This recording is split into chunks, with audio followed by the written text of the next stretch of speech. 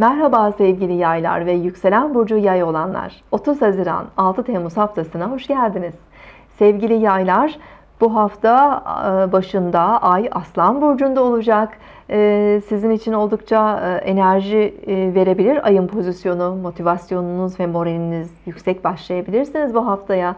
Seyahatler için uygun bir dönemde olacaksınız. Yurt dışı ile ilgili işler, medya, yayıncılıkla ilgili kavramlar, eğitimle ilgili konular biraz daha önceliğiniz olabilir hafta başında özellikle. 2 Temmuz'dan itibaren Ay Başak Burcu'na geçecek. Dolayısıyla daha çok işiniz, kariyeriniz, hayatınızdaki sorumluluklar, görevler veya aile büyükleriyle ilgili konular biraz daha gündemde olacak. Bu hafta Merkür Retrosu artık sona eriyor. İkizler Burcu'nda Merkür ileri harekete dönecek.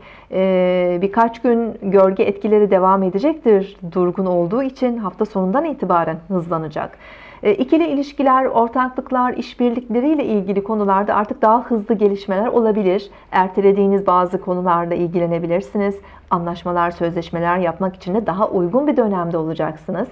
E, partneriniz, eşiniz veya ortağınızla e, meydana gelen bazı iletişim sorunları da artık yoluna girecektir sevgili yaylar.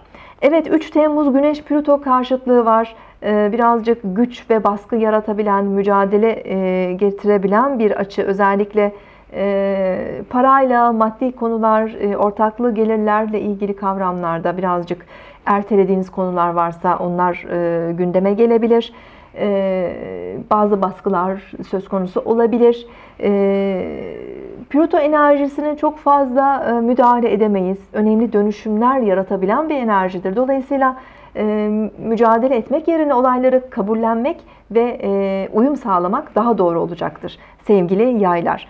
4 Temmuz'dan itibaren Ay terazi burcuna geçiyor. Dolayısıyla daha sosyal etkiler gündemde olacak. Hafta sonunu arkadaşlarınıza ayırabilirsiniz. Evet haftanın genel etkileri böyle. Lütfen haftalık videoları yükselen burcunuza göre de izleyin. Bunun yanı sıra hafta içerisinde hazırladığımız günlük burç videolarını da mutlaka takip edin. Hoşçakalın.